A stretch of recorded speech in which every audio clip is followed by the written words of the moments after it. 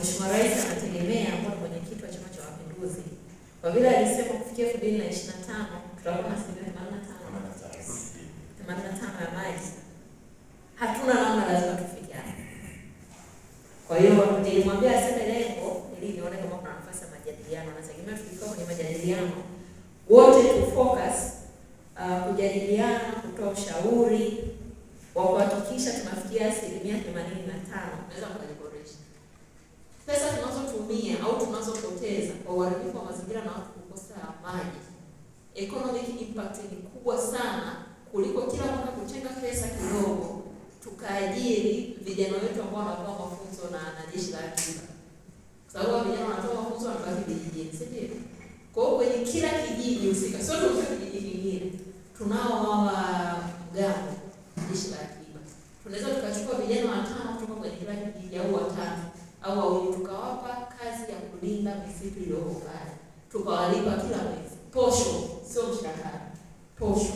Kwa posho tukawalipa kwa mwaka ni ndogo kuliko economic impact ya kuharibu ya mazingira, ambao huwezi kusema kila mtu aelinde ule msitu, kwa sababu tunajua kuna tatizo la ukame, mabadiliko ya tabia ya nchi, watu wamepanda mazao yao hawaja Uh, RUWASA tumeanza mwaka 2019 na wakati tunaanza tulikuta nilifika tulikuwa tuna asilimia upatikanaji wa maji 53.9.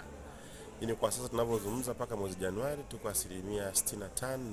Kwa hivyo tunaenda vizuri katika kipindi cha miaka minne, maanake tumekuwa na wastani wa karibia kila mwaka kuongeza asilimia upatikanaji maji kwa asilimia 4 4 tatu tatu kwa kipindi cha miaka almost minne. Sasa mwaka wa fedha ishirini na mbili ishirini na tatu tunaendelea nao, tuko na miradi inayoendelea ya thamani ya zaidi ya shilingi bilioni tisa katika vijiji vya Pwaga, Mungui, Maswala na Itende. Huu ni mradi mmoja wenye thamani ya shilingi bilioni nne nukta tatu lakini tuna mradi mwingine unaoendelea katika vijiji vya Makutupa, Lupeta, Bumila pamoja, tunategemea kuongeza mpaka Inzovu wa shilingi bilioni mbili nukta tano. Tunao mradi mwingine kwenye kijiji cha Chinyika Mlunduzi, vijiji viwili mradi shilingi milioni 967, lakini tuna mradi mwingine ambao unaendelea pia katika kijiji cha Igoji wa thamani shilingi milioni 430.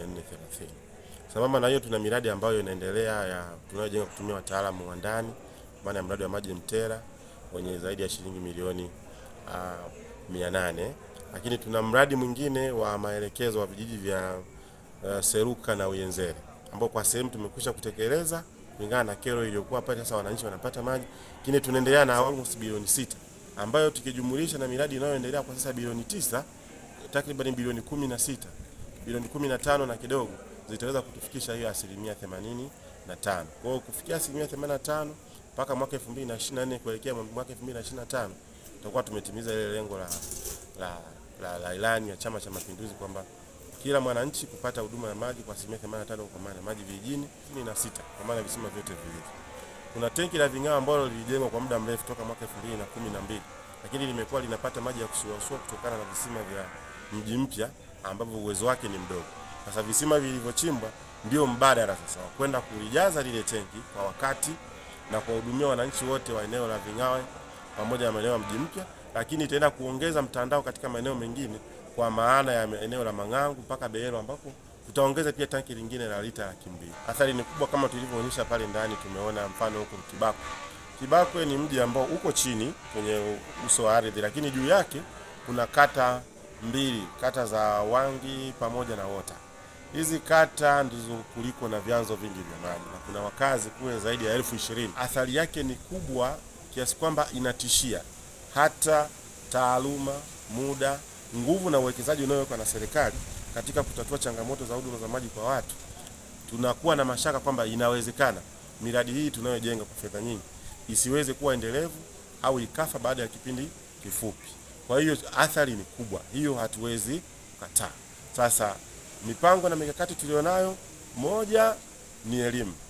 Tunaanza kwanza na elimu, wananchi wetu waendelee kupewa elimu, na mimi nitumie pia wasaa huu kuwasisitiza kwamba waache kuchoma miti, waache kukata miti ovyo, waache kulima kwenye maeneo ya mabonde na minuko ambayo yako kwenye maeneo ya kingo za vyanzo vya maji, kwa sababu.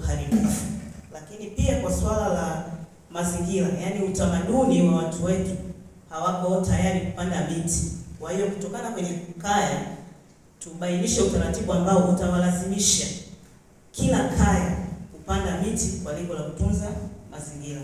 lakini hatupaswi kukubali kusema mazingira yanaharibiwa na sisi tupo. Hatua gani tutakazochukua? Hatua tunazo na zilishaanza kufuatiliwa, lakini pale ambapo operation zinapoenda kufanyika, ina maana wale watu watasikiliza, wakishamaliza wanaondoka, yaani wanawakimbia. Ina maana watu walioitoa mkuu wa wilaya hapa la kuanzisha task force ya kufuatilia wale baada ya sisi kuondoka kutoa ah, elimu juu ya mazingira, wakina nani wanarudi